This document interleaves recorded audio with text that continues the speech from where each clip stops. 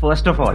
जब 2014 में हम जो स्टॉक शुरू कर रहे थे, आपका the biggest motivational seminar ever was the most inspiring thing on the internet and कई बार हम उसको, हमने उसको शायद पाँच छः बारी देख रखा है तब भी। और उसी की वजह से कहीं ना कहीं जो स्टॉक हमने स्टार्ट किया था। अरे वाह, क्या बात है।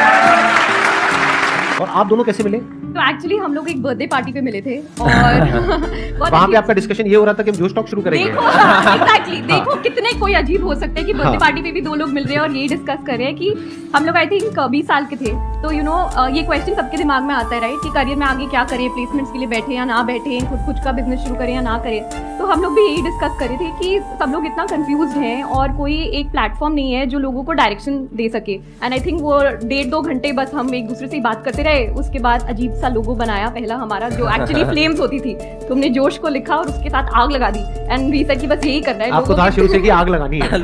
हाँ।